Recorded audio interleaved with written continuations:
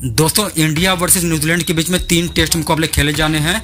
इन तीन टेस्ट मुकाबलों में जो दूसरा टेस्ट मुकाबला खेला जाएगा, वो खेला जाएगा 24 से लेकर 28 अक्टूबर के बीच में। ये मुकाबला पुणे के स्टेडियम में खेला जाएगा सुबह के नौ बज के तीस मिनट पे। अगर आपको इस मुकाबले की टिकट बुक करनी है तो आपके लिए बहुत बड़ी खुशखबरी है।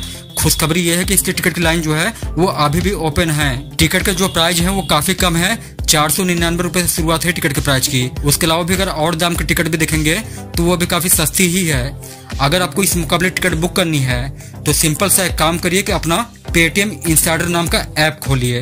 ऐप खोलने के बाद आपको सर्च करना है आईडीएफसी आईडीएफसी के अलावा कुछ और मत सर्च करिएगा। कुछ और सर्च करने के बाद आपके सामने कोई और टिकट आ जाएगी और आप गलत टिकट बुक कर लेंगे।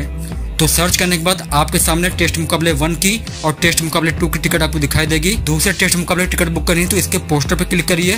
पोस्टर पे क्लिक करने के बाद अंदर जाएँगे तो आपको स्टेडियम का नाम पढ़ लेना है ध्यान से कि वो स्टेडियम वाली ही टिकट है या कहीं और टिकट वो है। तो स्टेडियम का नाम पढ़ने के बाद नीचे बाय नाउ का ऑप्शन दिखाई देगा, इस पर टाइप करने के बाद आगे जाएँगे तो आपको कई सारे प्राइस रेंज की टिकट यहाँ पे दिखाई देगी अवेलेबल।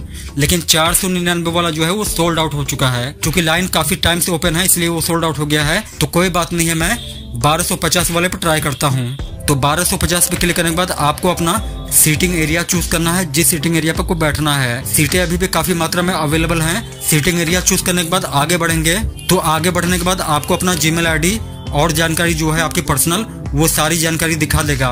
इस चीज़ को ध्यान से देख लीजिएगा, गलती मत करिएगा, क्योंकि यहीं पे सारी चीज़ें आनी है। जो ई टिकट आएगा या जो भी अपडेट आएगी, वो आपके ईमेल आईडी और मोबाइल नंबर पे ही भेजा जाएगा। इसलिए सब कुछ ध्यान से देख के, उसके बाद से आप आगे बढ़ेंगे। फिर आपको 1300 से ऊपर का बैलेंस पेड करना है, क्योंकि क्योंकि एक सौ जो है वो बुकिंग फ़ी है और बारह सौ पचास की टिकट है। तो ये बैलेंस आप चाहें तो कैसे भी पेड कर सकते हैं।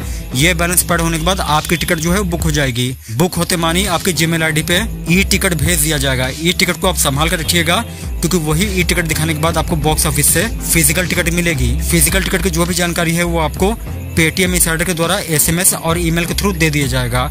तो इस तरह से आप दूसरे टेस्ट मुकाबले की टिकट बुक कर पाएँगे। बाकी आगे आने वाले दिनों में जो भी जानकारी आएगी किसी और मैच की टिकट को लेकर वो जानकारी मैं आपको बस ला देने की कोशिश ज़रूर करूँगा।